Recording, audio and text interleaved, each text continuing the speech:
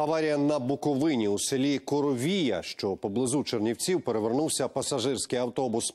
Постраждали щонайменше 11 людей. ДТП сталося сьогодні, близько 8 ранку.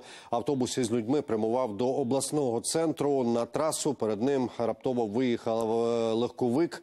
Аби уникнути зіткнення, водій маршрутки вирулив у кювет та перекинувся. До лікарні швидкої до- доправили 11 пасажирів. Серед них одна дитина. В усіх травми середньої та легкої тяжкості.